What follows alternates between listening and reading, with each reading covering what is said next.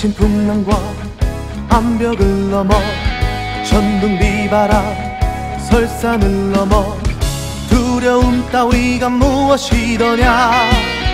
승리만이 우릴 밝게 비춘다. 조국을 위하여 싸워 이기리라. 안 되면 될 때까지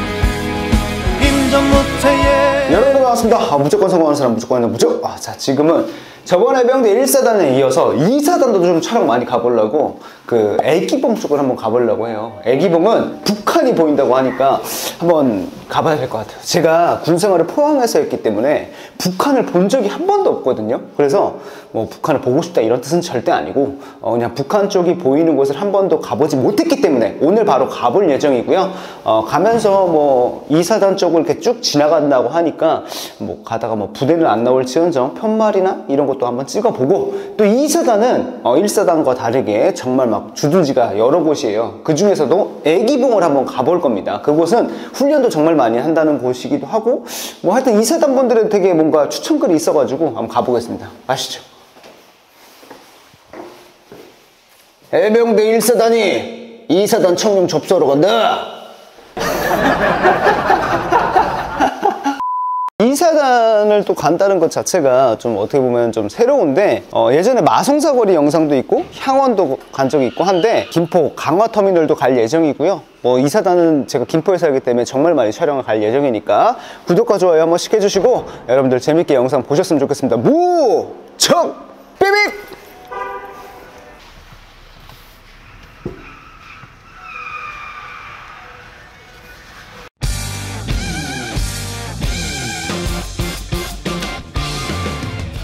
자 오늘 여기 왔는데 여기서는 해병대가 이제 각 구역마다 검사를 합니다. 그러니까 신분증도 검사하고 이제 정말 여기 군사 경계선 쪽이거든요. 왜냐면 북한하고 되게 가까워요. 어, 그래서 혹시나 이제 해병대를 만날 것 같아서 커피를 좀 몇 잔 살라고요. 애들 고생한 애들 좀 주려고 한번 가보겠습니다. 여기도 또 해병들이 이제 자주 외출 나오면 오는 걸로 알고 있습니다. 한번 보여드릴게요 여기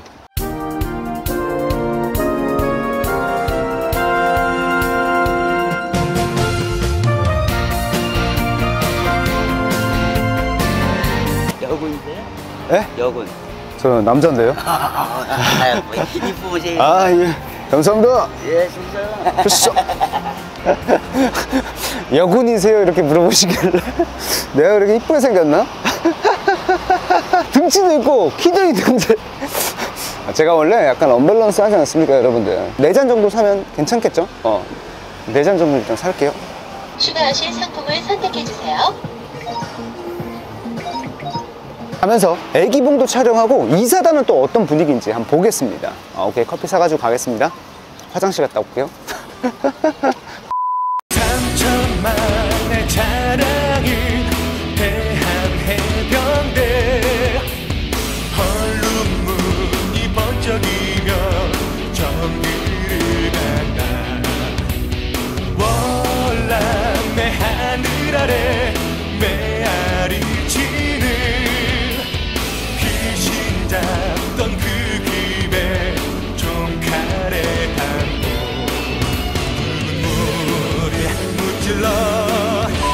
애기봉 평화생태공원에 왔습니다. 여기는 우리 해병대 2사단이 또 이제 지키고 있는 곳이기도 하고 또 이곳에 가게 되면은 북한이 보인대요. 그래서 저도 처음 와보는데 저는 해병대 1사단 출신이어서 북한을 단 한 번도 본 적이 없습니다. 그래서 오늘은 어, 여러분들이랑 같이 한번 이곳을 구경해보고 또 우리 해병대 2사단이 얼마나 고생하는지 또 이런 것도 좀 알아보는 그런 시간을 가져보겠습니다. 무적!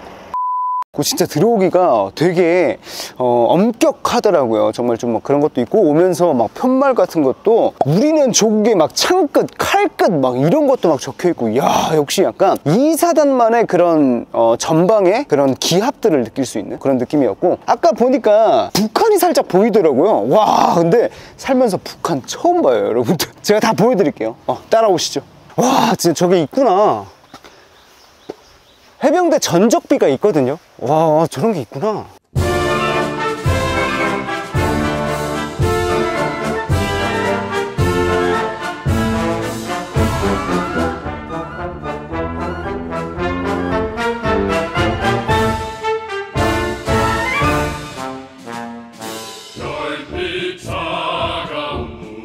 이곳은 선배님들의 얼과 넋과 정신과 혼이 담긴 아주 고귀한 곳입니다. 어, 정말 너무 감사하고 제가 이 땅에서 이렇게 편하게 살 수 있었던 게 선배님들 덕이었다라는 거 다시 한번 마음에 새기면서 어, 다음 곳으로 또 이동해 보겠습니다.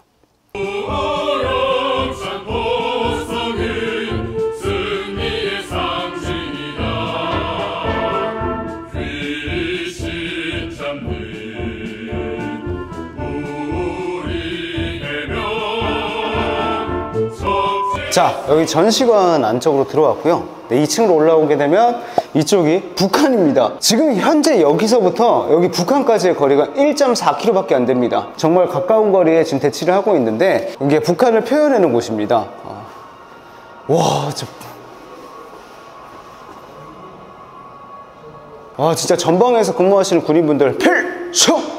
전시관도 한번 둘러볼까요 우리? 지금 제가 온 곳이 이 애기봉이라는 곳인데요 이곳에 해병대가 주둔하고 있고 어, 남북이 서로 여기를 차지하기 위해서 정말 치열한 전투를 벌였던 곳이라고 합니다. 지금 여기 이곳은요 한강 하구 중립수역지역이라고 합니다. 이게 무엇을 뜻하냐면 저 육군분들은 좀 이해하기 쉽게 그 DMZ라는 곳 있죠? 어, 북한하고 우리나라하고 그 사이에 이제 몇 킬로미터를 민정경찰들 지금 GOP, GP가 이제 수색하고 하는 곳. 그곳을 하는 것처럼 우리 한강 하구 쪽에도 해병대하고 북한군하고 중립수역으로 지정을 해서 이곳을 대체하고 있는 그런 곳이라고 보시면 될 것 같습니다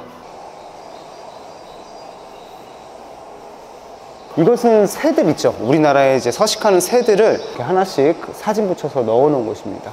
조강유역이 해산교통의 관문이자 이 지함은 달에 차고 따른 바다 자 이제 이것부터는 저기 북한을 더 가까이에서 볼 수 있는 전망대 쪽으로 이동해 볼 건데요. 또 여기에는 흔들다리라는 게 존재합니다. 다리를 건널 건데 걸을 때마다 흔들흔들 걸린다고 해서 흔들다리입니다. 한번 가시죠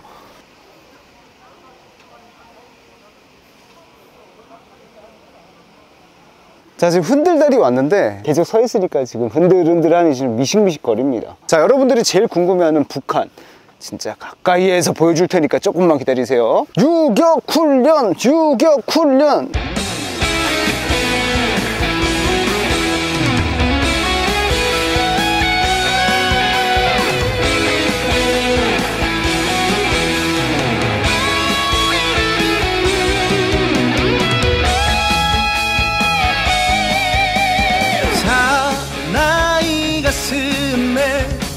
흠뜩 품었다.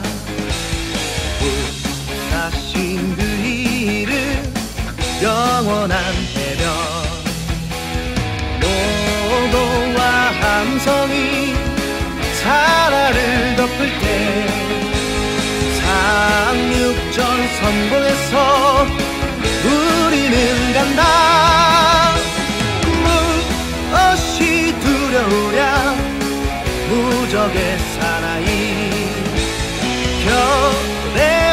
함께하는 영원한 해변.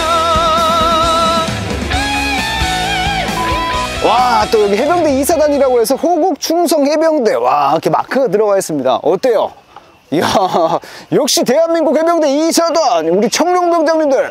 아 여기 멋있습니다. 하여튼 여기서도 또 이렇게 어, 이렇게 딱 되어 있어 가지고 정말 좀 신기합니다. 자 아, 지금 여기 조강 전망대까지 올라왔거든요. 근데 아까 그 밑에서 계속 종소리가 나더라고요. 그래서 이게 뭘까 하고 왔는데 남북 평화의 종이래요. 남북 평화의 종. 이렇게 해서 칠 수 있도록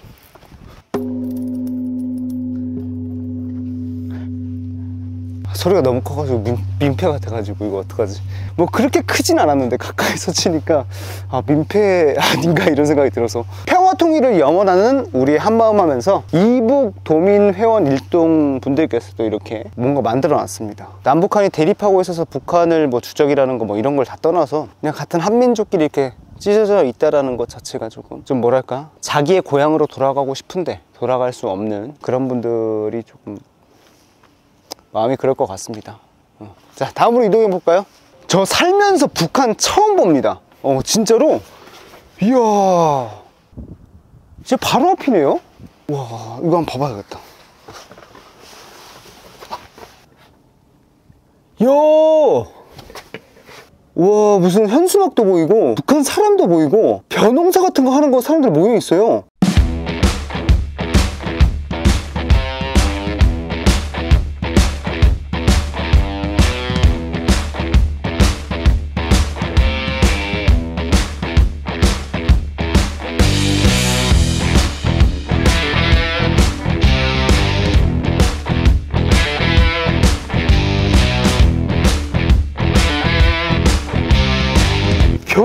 이렇게 보여? 배농사하는 게? 이야 진짜 처음 봐요. 그러니까 제가 뭐 이렇게 뭐 북한 좋아하고 이런 거 절대 아니에요. 근데 자 그냥 북한을 처음 봐요 오늘 진짜 자 오늘은 애기봉에 이렇게 왔는데요. 북한하고의 거리가 1.4km밖에 안 된다 그래서 여기 이제 이 망원경으로 북한이 보입니다. 정말 신기하죠? 저도 해병대 1사단에서 근무를 했기 때문에 북한을 볼 수 있는 기회가 한 번도 없었는데 또 이렇게 오늘 좋은 경험하고 가고 또 여기 2사단에서 지금 근무하고 있는 우리 해병들이 또 굉장히 고생하고 있답니다. 왜냐? 이 한강 하구 쪽으로 또 간첩이 넘어올 수도 있고 또 귀순자가 넘어올 수도 있기 때문에 어, 그런 비상사태를 잡아내기 위해 우리 이 시간까지 또 고생하고 있는 우리 장병들 너무나도 감사합니다. 그리고 뭐 GOP, GP, DMZ 쪽도 정말 많은 군인분들이 어, 대체하고 있는데 이렇게 나라를 지켜주셔서 다시 한번 감사합니다. 그럼 이제 저희는 여기서 마무리하고 또 비가 오기 때문에 어, 이동하고 다음에 또 다른 이사단 쪽을 또 촬영 가보겠습니다. 그럼 지금까지 무조건 성공하는 사람 무조건이었습니다. 무적